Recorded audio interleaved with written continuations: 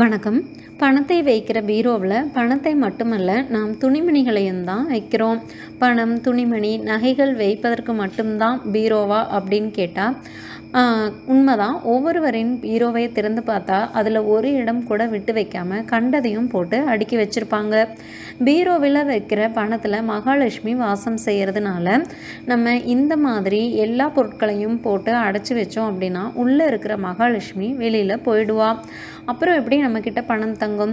அதனால் பீரோவில் வைக்கக்கூடாத பொருட்களை பற்றிய தகவல்களை தான் இந்த பதிவில் நம்ம தெரிஞ்சுக்க போகிறோம் பீரோவில் வைக்க வேண்டிய மிக முக்கிய பொருட்களில் ஒன்று நம்ம சம்பாதிக்கிற பணம். பீரோவை வைக்க வேண்டிய திசையில் வைத்து சம்பாதிக்கும் பணத்தை பீரோவில் வைத்து பின்னர் அதிலிருந்து எடுப்பதுதான் முறை. இரும்பு பீரோவை விட மர பீரோக்கள் அதிகமான பணத்தை சேமித்து கொடுக்கும் வல்லமை கொண்டது. அதிலும் தேக்கு மர பீரோவில் நம்ம பணத்தை சேகரித்தோன்னா அல்ல அல்ல குறையாத பணம் சேர்ந்துட்டே போகும்னு சொல்லுவாங்க. அதனால் தானே என்னவோ முந்தைய காலங்களில் எல்லாம் தேக்கு மரத்தாலா மரத்தால் ஆன பீரோக்கள் பெருமளவில் பயன்படுத்தப்பட்டது. மிக முக்கியமாக பீரோக்களை எப்போவுமே தென்மேற்கு திசையில் தான் வைக்கணும். தென்மேற்கு திசையில் வைக்க முடியாதவங்க வட அந்த அறையோட வடகிழக்கு திசையில் வைக்கலாம் இந்த இரண்டு இடங்கள் தான் வந்து பீரோ வைக்கிறதுக்கு மிகவும் உகந்த இடங்கள். தேக்கு மர பீரோ வாங்கி வைக்க முடியல அப்படின்னாலும் ஒரு சிறிய பெட்டியையாவது தேக்கு மரத்தில் வாங்கி அதில் பணத்தை வச்சு பீரோக்குள்ளே வைக்கலாம். இதனால் செல்வ செழிப்பும் பணமும் அதிகரிக்கும் அப்படிங்கிறது நம்பிக்கை.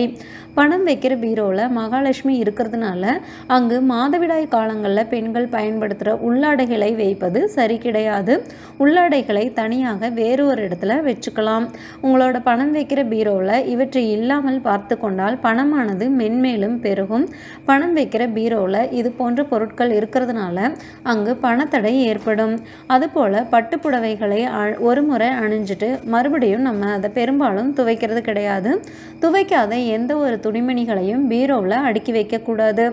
இதனால் நிச்சயம் வீட்டில் பணத்தடை ஏற்படும் வருமான தடை தூக்கும். கடன் பிரச்சனைகள் தலை தூக்கும். சுத்தமாக துவைத்த துணிகளை மட்டுமே பணம் வைக்கும் பீரோவில் வைக்க வேண்டும். அதனால் பட்டுப்புடவையை கட்டிட்டு ஒரு நாள் முழுவதும் காற்றில் காய வச்சுட்டு அதுக்கப்புறமா வெறுமனைவாதும் தண்ணியில் போட்டு எடுத்துட்டு அதுக்கப்புறமா மடித்து வைக்கிறது நல் காய விட்டு மடித்து வைக்கிறது நல்லது.